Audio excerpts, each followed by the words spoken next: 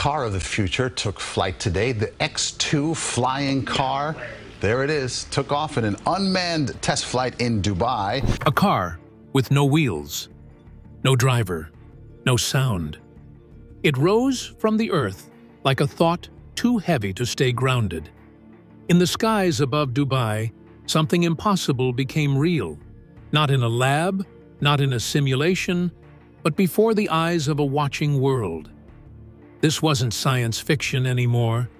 This was a light made personal. Private, electric, silent.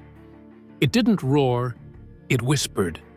And in that whisper was a promise that the way we move, the way we live, is about to change.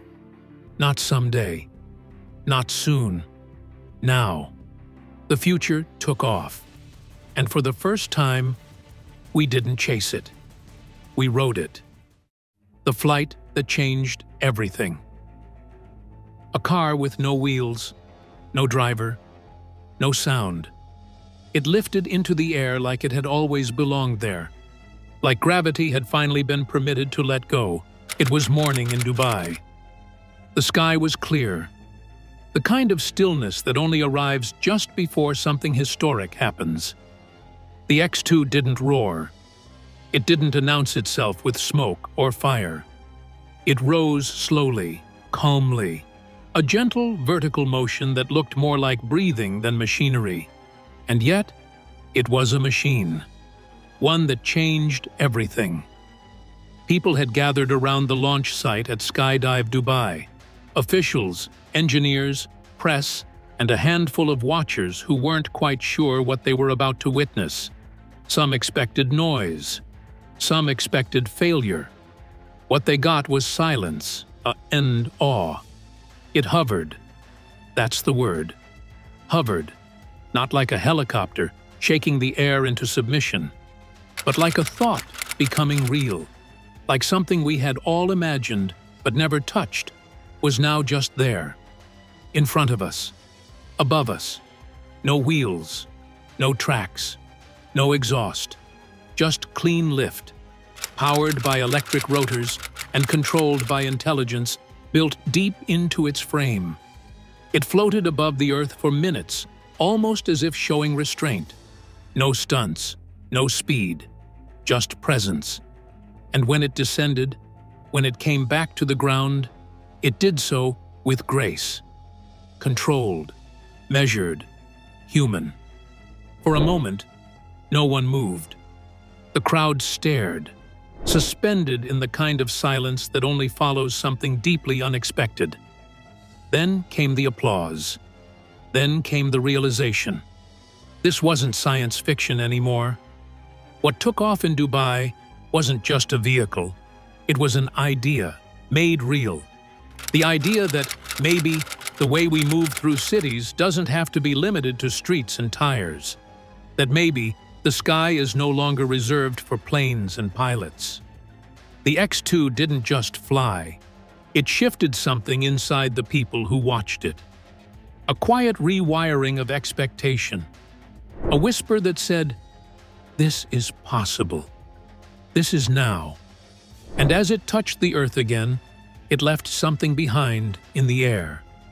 Not smoke, not noise, but belief. Belief that the future doesn't always crash through the door. Sometimes it rises gently into view and waits for us to notice. What is the X2 and why does it matter? The X2 doesn't look like a car, at least not in the way we've always imagined them. It has no wheels, no steering wheel, and no exhaust pipe. No space for fuel, no dashboard of buttons and dials. What it has is presence, purpose, a shape molded by air, not asphalt. Built by Xpeng Aero HT, the aviation arm of Chinese EV giant Xpeng Motors. The X2 is the company's fifth-generation electric vertical takeoff and landing vehicle, or eVTOL. That acronym might sound like jargon, but it holds weight. It means this thing isn't a plane. It isn't a helicopter. And it certainly isn't just a drone scaled up for people, it's something else. Something new. The specs are quiet, but powerful. The X-2 can carry two passengers. It reaches a top speed of 130 kilometers per hour and can stay in the air for up to 35 minutes on a single charge. It doesn't just fly, it thinks. The X-2 is autonomous. No pilot required. It calculates, navigates, adapts. It avoids obstacles, plans its descent, finds its landing pad. You don't fly it, you trust it. Its body is made of premium carbon fiber, light, strong, and sculpted to resist the wind. Its doors open like the future always promised they would. The cockpit is sleek, more spaceship than car. It's fitted with an emergency parachute system built into the airframe itself. A backup, not a gimmick. But the most remarkable thing about the X-2, it produces zero emissions. No carbon. No smoke, just flight. It was built for cities, for low-altitude, short-range trips, quick, quiet escapes from the congestion below. And it was designed with intention. Not just to be a technical showcase, but a bridge between what we know and what we now know is possible. The X2 isn't about going faster. It's about going above. It's not about owning the sky. It's about borrowing it, gracefully, carefully, just long enough to get from one life to another. And yes, others have tried to build flying cars. Many have claimed it. Few have lifted off. Even fewer have flown with people on board, in public, in real cities. But the X-2 did, in Dubai, in daylight, in front of everyone. It didn't just show us what it could do, it showed us what we could believe in again. A machine that moves through the sky the way we were always meant to. Quietly, cleanly, together. Now first, like always be sure to hit the like button down below. It helps us out tremendously with the reach of this video. Thank you. From China to the skies of Dubai. Before it ever touched the skies over Dubai, the X-2 had already flown many times. Over 15,000 test flights had been conducted in China, in remote areas, under controlled conditions, quiet, careful, consistent, but always behind closed doors always just out of reach of public imagination. Dubai changed that. This was the first time the X-2 would fly outside of China. The first time it would lift off before a global audience. And it wasn't just a technological test. It was a statement. Dubai was chosen for a reason. It's a city that embraces the future not as a theory, but as a plan. Its skyline is filled with ambition. Its streets are already shaped by innovation. And more importantly, its leadership is unafraid to take bold steps. They don't just ask, what's next? They build it. The Dubai Chamber of Commerce didn't just observe this flight. They guided it, supported it, helped XPeng Aero HT navigate the legal and logistical framework that allowed this moment to happen. The skies weren't opened by luck. They were opened by intent. On the ground at Skydive Dubai, over 150 people watched as the X-2 lifted into the air. Among them were engineers, officials, skeptics, and believers, all standing together, all looking up. And as the X-2 hovered above the sand and steel of one of the world's most advanced cities, it carried something more than just weight. It carried trust. Trust between nations, between industries, between imagination and reality. And in that quiet flight, Dubai became the place where the future stopped being a secret and started being shared. The human dream of flight. Long before Dubai, long before electricity or carbon fiber, we looked up birds, clouds, stars. These were not just elements of the sky. They were invitations, quiet ones, persistent, calling us towards something higher, something free. The dream of flight is old, older than writing, older than war. In sketches and scrolls, in stories passed by firelight, humans imagined wings on their backs, wheels in the air, floating cities in the clouds. It was never about speed. It was about escape, about wonder, about the possibility. Da Vinci drew machines with flapping wings and called them flying men. Icarus flew too close to the sun.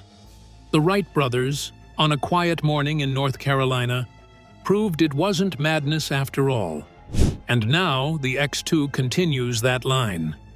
It doesn't look like their dreams, but it feels the same.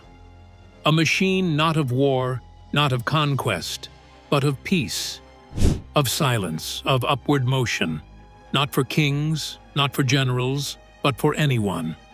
Flying cars are not just about going somewhere. They're about becoming something.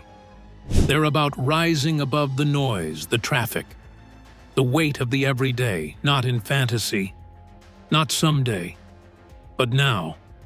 Every city that lets one rise tells its people, yes, we believe. Every test flight says, yes, we still dream. The sky was never the limit. It was just waiting. And maybe, so were we. What comes next? The sixth generation. The X2 was never the final step. It was a beginning. A quiet opening to something even more ambitious. Xpeng's next creation, the sixth generation flying car, isn't just meant to fly. It's meant to drive, and it's coming soon. This new model, still under wraps but already stirring anticipation, is expected to launch in 2024. Unlike the X2, it will have wheels. A true hybrid, a car that rolls onto the street, navigates city corners, parks in a garage, and then unfolds. Wings extend, rotors lift, and the street becomes a runway for the sky. It's built to transition in moments, one world to another, ground to air, routine to wonder. It folds its wings like a bird at rest, waiting for the moment it's needed, not just to move, but to rise. Xpeng has stated it will cost under 1 million renminbi, about 156 or $600. For now, that price keeps it in the realm of the curious few. But not forever. Technology scales, costs fall, and what is rare today becomes expected tomorrow. Dubai's successful demonstration is only the beginning. More tests are planned, more approvals, more sky. The future will not arrive in a single machine. It will arrive in thousands. Quiet, clean, hovering just above the city. We won't even notice the shift when it happens. The sky will just feel busier, closer, more alive. The sixth generation won't just be a marvel of engineering, it will be a turning point in how we see cities, cars, and ourselves. A future where we don't ask if we can fly. But where do we go next?